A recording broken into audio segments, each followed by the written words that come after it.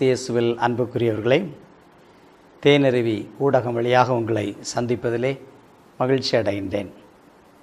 இன்று பொதுக்காலம் இருபத்தி எட்டாம் வாரம் அக்டோபர் மாதம் பதினைந்தாம் நாள் வெள்ளிக்கிழமை.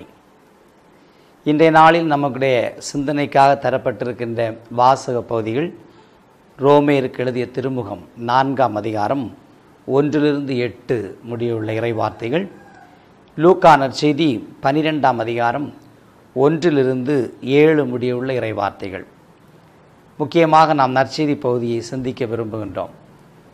ஆண்டவர் இயேசு அச்சமுற வேண்டாம் பயப்பட வேண்டாம் உங்களுடைய தலைமுடிகள் கூட எண்ணப்பட்டிருக்கின்றன. எனவே அதில் ஒன்று விழுவதாயினும் அது இறைவனுக்கு விருப்பமில்லாமல் அது விழாது என்று தைரியப்படுத்துகின்றார். மேலும் அவர் சொல்லுகின்ற வார்த்தை நீங்கள் இந்த மண்ணுலையில் உள்ளவர்களுக்கு பயப்பட வேண்டிய அவசியமில்லை. இந்த உலகத்தையும் தாண்டி உங்களுடைய ஆன்மாவையும் நரகத்திற்கு ஆழ்த்த வல்லவருக்கே நீங்கள் அஞ்சுங்கள் என்று குறிப்பிடுகின்றார். இதிலே அவர் சொல்ல விரும்புவது என்ன என சிந்திக்கின்ற போது நம் ஆண்டவர் இயேசு கிறிஸ்து நன்மையே உருவானவர்.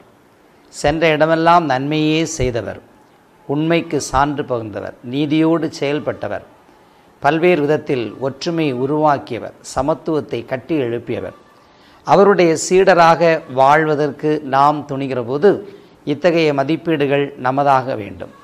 நாமும் உண்மைக்கு சான்று பகிர்ந்தவர்களாக அநீதிக்கு எதிராக போர்கொடி தூக்குகின்றவர்களாக நேர்மையோடு நடக்கின்றவர்களாக சமத்துவத்தை பேணுகின்றவர்களாக ஒற்றுமையை உருவாக்குகின்றவர்களாக நாமும் கண்டிப்பாக கிறிஸ்துவனுடைய சீடர்கள் என்றால் அவருக்கு சான்று பகர வேண்டும்.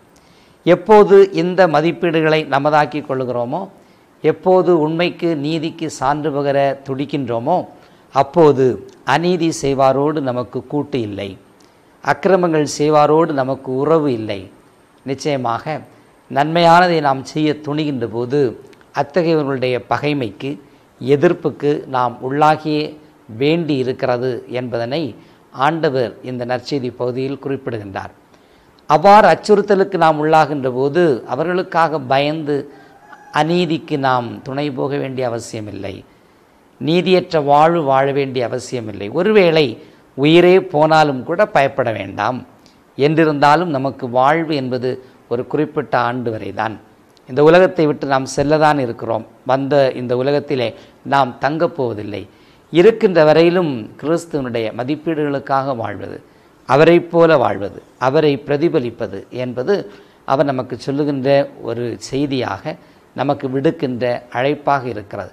எனவே கிறிஸ்தவர்களாகிய நம்முடைய நம்பிக்கை இன்னொரு வாழ்வு நிலையான வாழ்வு என்பது உண்டு. இந்த வாழ்வு அந்த வாழ்வினுடைய தொடக்கமாக இருக்கிறது அந்த வாழ்விற்கான தயாரிப்பாக இருக்கிறது. எனவே இந்த உலகத்தில் நாம் வாழுகிற போது நம்முடைய வாழ்வை நாம் இழந்தோம் என்றால் அதை பெற்றுக்கொள்வோம். இல்லை இந்த வாழ்வை நாம் பெற்றுக்கொள்ள வேண்டும் என்று விரும்பி அநீதிக்கும் அக்கிரமத்திற்கும் நாம் துணை போகிறோம் என்றால் நம்முடைய வாழ்வை இழந்து விடுவோம். எனவே நீங்கள் அஞ்ச தேவையில்லை பயப்பட தேவையில்லை. தைரியமோடு இருங்கள் கண்ணியமோடு இருங்கள். என்னுடைய மதிப்பீடுகளை வாழ்வாக்குங்கள் என்று ஆண்டவர் நமக்கு சொல்லித் தருகின்றார்.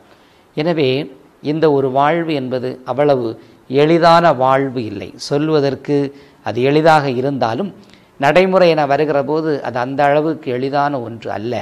இருந்தாலும் கிறிஸ்துவை தாங்கி இருக்கக்கூடிய நாம் அத்தகைய வாழ் வாழ வேண்டியவர்கள் என்பதை உணர்ந்தவர்களாக கிறிஸ்துவனுடைய மதிப்பீடுகளுக்கு சான்று பகர ஒவ்வொரு நாளும் நம்முடைய விசுவாச போராட்டத்திலே துணிந்து செயல்பட இந்த நாளிலே ஆண்டவருடைய துணையை வேண்டுவோம். என்று வாழும் எல்லாவல்ல இறைவா ஆண்டவர் இயேசு கிறிஸ்து எங்களுக்கு உண்மையை நீதியை கற்றுத்தந்தார். தன்னுடைய வாழ்நாள் முழுவதும் அதை தன்னுடைய வாழ்விலே செயல்படுத்தினார்.